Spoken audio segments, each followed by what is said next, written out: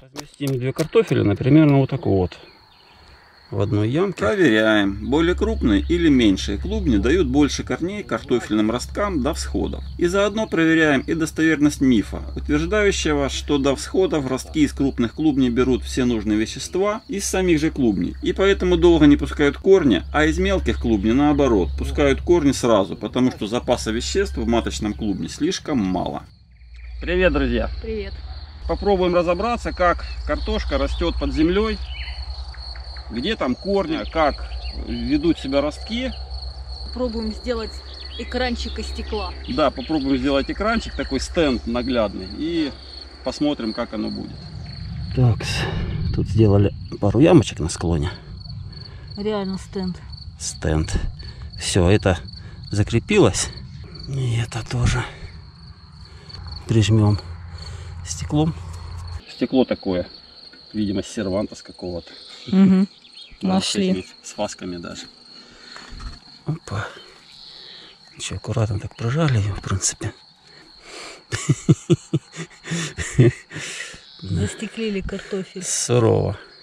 Ну и сверху кусок рубероида. чтобы свет не попадал. Да, сейчас от света спрячем. Так знаешь, когда я смотрю вот в кадр, никогда не угадаешь, что это. По кадру не определишь.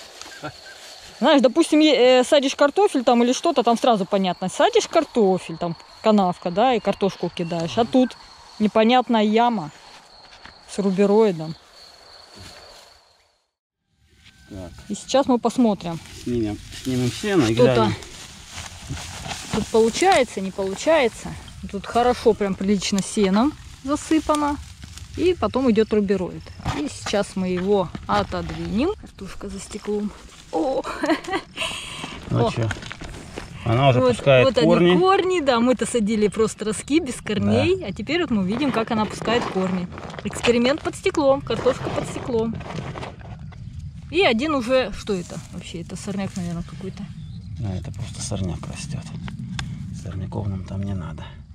Ну что, картина маслом, все как на ладони в принципе. Видно, что начали обширно корни расти. Эти корни выросли у картофеля за 6 дней.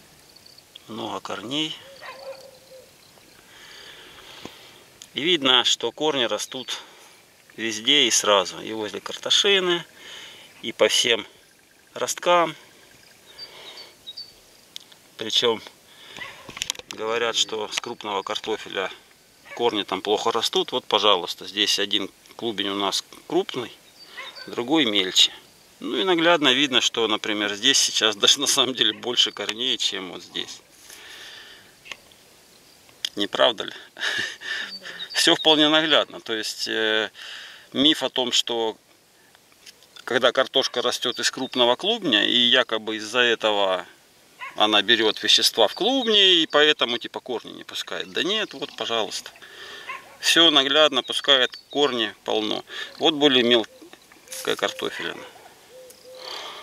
Ну и корней здесь меньше. То есть, в принципе, такой зависимости, что крупнее картофель и хуже корня, ну точно нет. На самом деле длина корней примерно одинаковая. Что здесь, что здесь. Тут просто ростков чуть побольше было. Из-за этого выглядит, что здесь даже больше корней. Ну, на самом деле одинаковые корни, что здесь растут, что здесь растут. Все так же. Достаточно наглядно. Ну и все, закладываем обратно.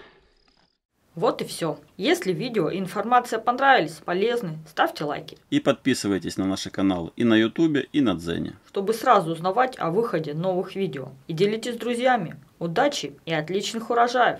С вами были Татьяна и Евгений Гордеевы. А если у вас есть опыт земледелия, Пишите в комментариях, поделитесь опытом. Заранее спасибо. Что у нас тут? Вот видно, картошка сверху лежит.